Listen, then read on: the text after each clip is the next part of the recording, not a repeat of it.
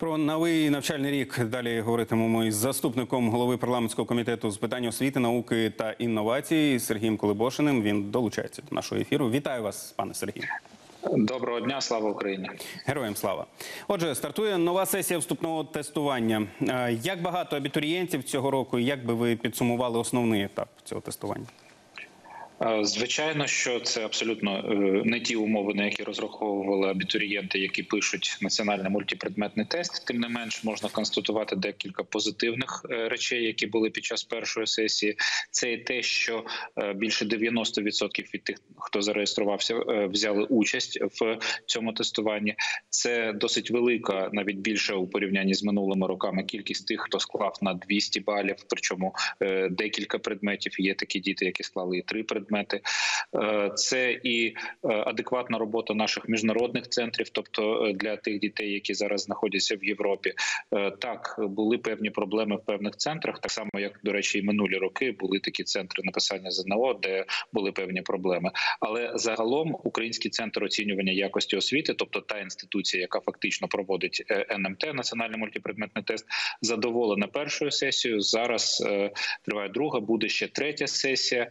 Я нагадаю, що е, обов'язок складати НМТ він не для всіх. Е, Для тих, хто вступає на контрактні спеціальності, є певні контрактні спеціальності, де це не є потрібним. Я нагадаю, що держава розробила особливу процедуру для тих дітей, які е, знаходяться на тимчасово окупованих територіях, і їм можна не складати національний мультипредметний тест задля того, щоб стати студентами українських вишів. Там достатньо тільки співбесіди, причому її можна робити в онлайні. Тобто держава робить все для того, щоб не зірвати вступну кампанію, для того, щоб діти та молоді люди обирали саме українську освіту. Для нас це є принциповим. Ну і головна тема за два тижні навчальний рік починається. Хтось матиме змогу сісти за парти, інші навчатимуться вдома.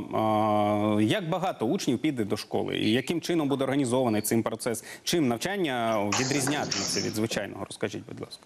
Якби ви мене спитали, як держава готовить, готується та готова до навчального року два з половиною три роки тому, то я б, мабуть, був е, ну отак, от би схопився за голову. Але якби ви мене спитали, а що буде з навчальним роком е, в кінці лютого або на початку березня цього року, то я б взагалі не не розумів би про що ми говоримо. Ми всі пам'ятаємо ці е, перші дні війни. Е, Насправді е, так. е, Головне, головна новина в тому, що навчальний рік почнеться. Він почнеться як форматі офлайн в тих навчальних закладах, де є відповідні висновки ДСНС е, щодо того, що там є бомбосховище або тимчасове укриття. Так він буде відбуватися і в онлайні. Е, Більше того, е, батьки навіть в тих школах, де є бомбосховище, але батьки побоюються, вони можуть написати відповідну заяву, та дитина буде проходити навчання в онлайні. Діти, які знаходяться тимчасово на заході, наприклад, нашої країни е, внутрішньо переміщення або поїхали до країн Європи, яким ми дякуємо за гостинність. ем, Вони теж можуть навчатися в онлайні в своїх школах або обрати навчання в дистанційних школах, які спеціалізуються саме в навчанні в онлайні. Так само можуть робити і діти, які знаходяться на тимчасово окупованих територіях. Вони можуть подати документи до дистанційних шкіл або шкіл, які впроваджують освіту регулярну та й в дистанційному форматі, і теж бути зарахованими і отримати атестат саме українського зразка. Знову ж повторюся, для держави це є принциповим. Це ж стосується і дошкільних навчальних закладів.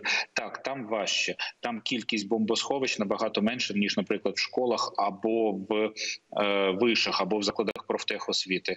Е, так. Там розглядається можливість не постійного перебування дітей, а принаймні до е, денного сну. Е, тобто, ну не, є нормальним з психологічної точки зору, якщо лунає е, повітряна тривога, щоб дітей будити та вести ну маленьких дітей, там трьох-чотирьох років, та вести до бомбосховища. Так чи інакше, держава максимально готується. Є області, звісно, де буде більше здебільшого онлайн. Є на заході країни області, де батьки обирають офлайн більшою мірою. Якщо говорити про готовність інфраструктурну системи, зрозуміло, ми ж не мешкаємо в ідеальному світі. Не з'являться за літо в усіх школах, е, дошкільних закладах, вишах і профтехах бомбосховища. Е, Наразі ще тривають обстеження ДСНС е, спільні з органами управління освітою е, всіх відповідних закладів. Можу констатува- констатувати, що в більше ніж в третині закладів є відповідні умови для того, щоб проводити заняття офлайн. От ви зараз е, трохи згадали про психологічний аспект. Хотілося б дізнатися, чи передбачена якась психологічна підтримка учнів, щоб е, стрес від війни не шкодив навчанню їхньому?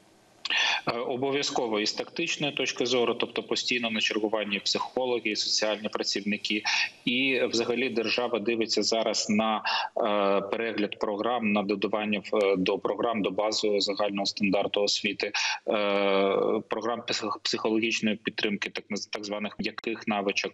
Це гра вдовго, як то кажуть, і це в- ця гра відбувається на всіх ланках. Зараз дуже опікується цим процесом офіс першої леді.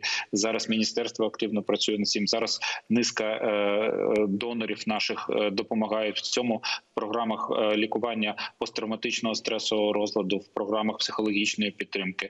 Ця робота є постійною, і я дуже просив би батьків теж пильнувати за станом ваших дітей. Це воно може бути сховано в них ця тривожність, але це дуже важливо побачити її зараз для того, щоб це не накопичувалось і потім не виходило через роки.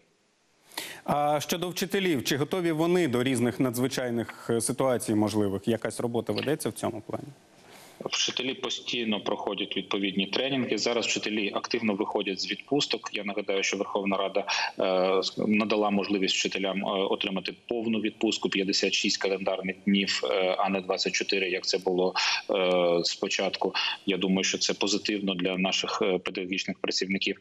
Зараз дуже багато тих вчителів, які опинилися або за кордоном, або на заході нашої країни. Вони або будуть працювати в онлайні, або е, в нас з'являються нові вакансії, скажімо так, і або неактивно заповнюються.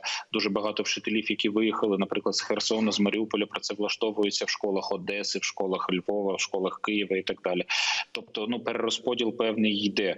Звичайно, що ми не забуваємо і про безпекову компоненту. Дійсно, школа це не тільки про знання, школа це про соціалізацію, і школа це про безпеку дитини та здоров'я дитини та й будь-якого учасника навчального процесу. І це все теж відбувається зараз. Тут вже багато залежить від позиції самої школи, самого навчального закладу, адміністрації школи, засновника.